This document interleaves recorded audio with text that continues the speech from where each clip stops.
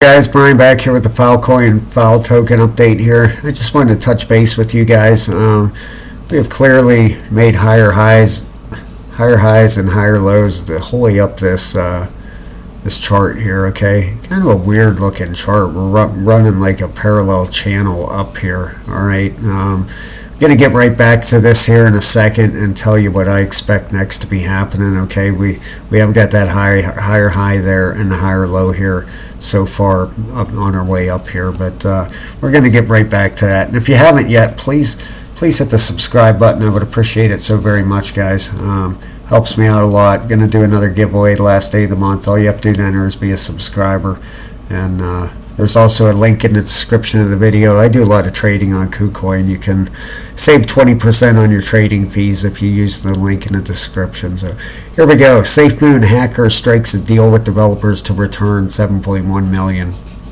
Any of you guys remember that hack? Um, it was uh, happened like a month ago. Um, I, I, specifically remember that. It, uh, I think SafeMoon was up big time the day before and then it tanked there.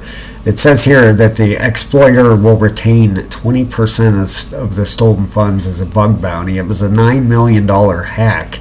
Okay, he's they're returning 7.1 million. He gets to keep 1.9 million. He or she or they, not sure, uh, doesn't say, but it says here that uh, the SafeMoon tokens uh, were hacked after manipulating a flaw in the smart contracts.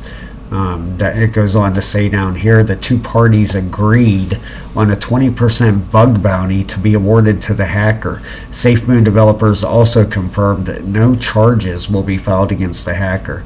So how about that? You know, um, I'm curious how the, all this came about. You know, did they find? Did they track track them down, or did they get uh, contact SafeMoon? I'm, I'm really curious how this all came about. It's it. Uh, geez, 1.9 million bucks for what was it? Probably 10 minutes. Uh, 10 minutes of being online there. That's crazy.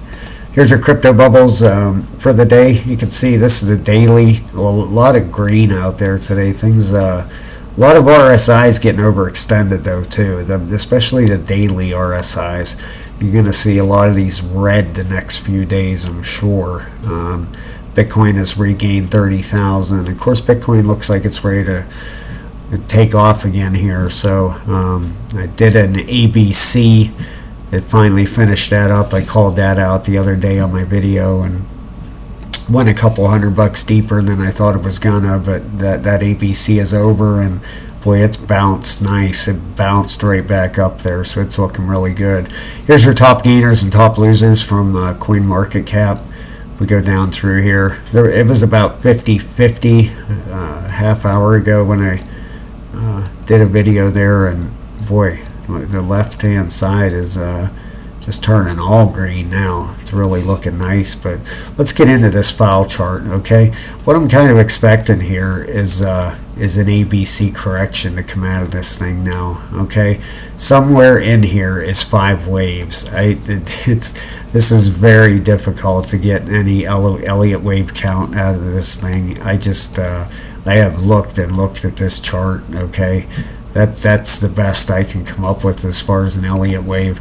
I do know a correction is coming in here, okay? We're, we're at the bottom bottom half of this trend line now, and I am guessing we're going to break through that and end up somewhere down here afterwards. All right, and if I, if I put a Fibonacci on this thing, okay, um, now right here we came up and hit that 702. That's that's a very familiar place for a A, a B, and then a C. And then you measure that out by uh, taking your measurement down and putting it on top of that, which would take us down. You know, this isn't bad. ABC, you have to have corrections in the market. You can't go, you know, straight up forever. And then I expect us to start another five waves back up. But the reason I'm saying this also, look at that four hour RSI rolling over. Okay, not only that, the 12 the 12 is actually turned back up and I'm not saying this thing can't cannot pop up a little bit here but um, the 8 is is actually turned up but the daily the daily is is at the top and, and bearish right now. So um, yeah, we're we're definitely looking for the four. The four's rolling over, and the one the one's down towards the bottom, but it looks like it. Uh, it's starting to curve like it wants to roll over. All right, so I'm not saying we can we cannot get a, little bit of a bounce, maybe back up to the 630, six dollar and thirty cent area somewhere around there. But I don't be surprised if tomorrow is a red day. You know, if we're down eight or nine percent, I expect that thing to come down to, you know, around five eighty call it 585 five dollars and 85 cents could come down to 581 you know and then we'll get our five next five waves up from there we'll get a bounce you know this is how these things normally work out okay you got your five waves up you have an abc correction then you continue your path up and this is in an uptrend okay this isn't we didn't just do five waves down we did five waves up, did an ABC. I'm just having a hard time finding them five waves in here. You know, I'm sure they are in there somewhere. This market moves on Elliott waves. You know, we did a zigzag across here. You know, it's just a really weird looking uh, steps step up here. You know, I mean, we did a big blast here. We came back and retested. You know, just up just that parallel channel but most of the times these parallel channels break down too you know or uh, uh, upward wedges you know anything normally heading up you know breaks down so that that ABC would would definitely make sense right here okay? And uh, just don't be shocked about it and don't be upset about it because uh, they have to happen you know? Almost every coin I cover um, is just about to this point of, of, of, having a correction. You have to have them in the market, you know, unless Bitcoin takes off and starts ripping to 35,000 tomorrow or something and, and yanks everything up with it. Just don't be bummed out if we get an ABC in here and this thing pulls down to the 580 ish region, okay? Because we should bounce from there and be heading back up. So, all right, guys, thank you so much. I just wanted to touch base with you.